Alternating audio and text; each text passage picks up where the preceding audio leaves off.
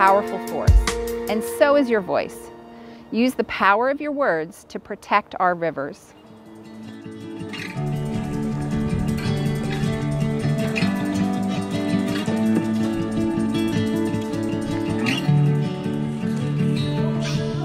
Connecticut River is an incredible recreational resource for the more than 12 million residents of the four watershed states.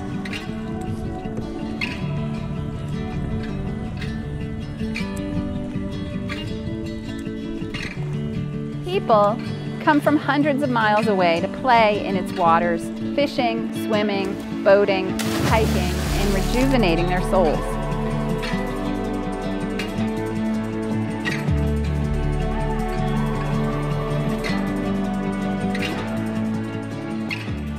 Large hydropower dams like those on the Connecticut River receive a license to operate from the Federal Energy Regulatory Commission, or FERC. The license commits the company to operate responsibly in exchange for using our rivers to generate electricity.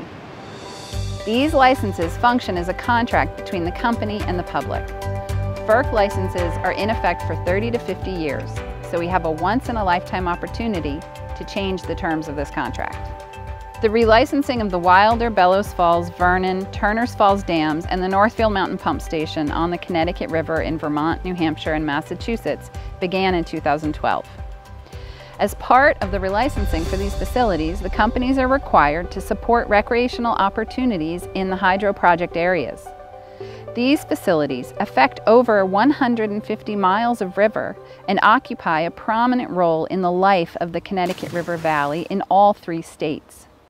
Currently, the two companies contribute only about 0.6 to 0.8% of their revenue to support recreation. That is far too little to give back to our local communities for the company's privilege to use this great river.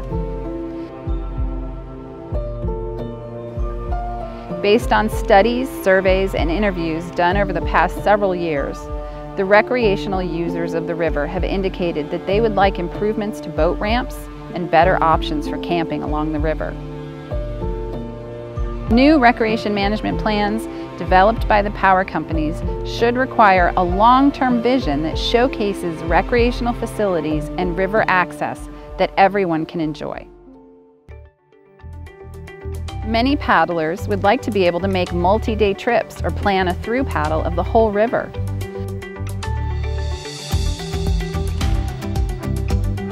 Recreational users need to be able to easily portage around the dams without having to carry their boat and supplies long distances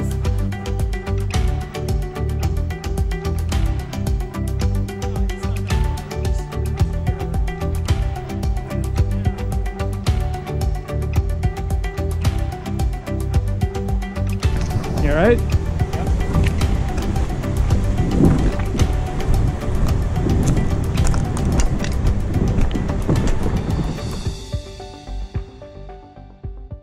Under the current license, if you were trying to paddle downriver around the Bellows Falls Dam, you would need to portage your canoe for almost a mile and a half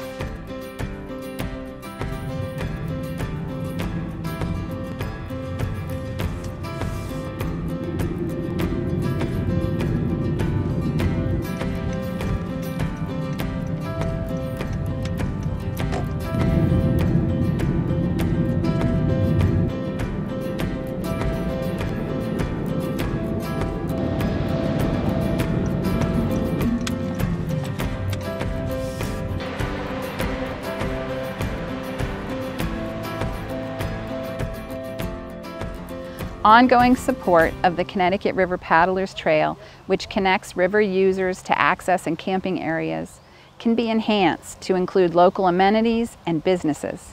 Marketing the river as a regional recreational destination would increase the value of the recreational economy in Vermont, New Hampshire, and Massachusetts. Connecticut River Conservancy and the Appalachian Mountain Club have developed recreational recommendations for the hydro companies to implement to support the public good and provide access to our river.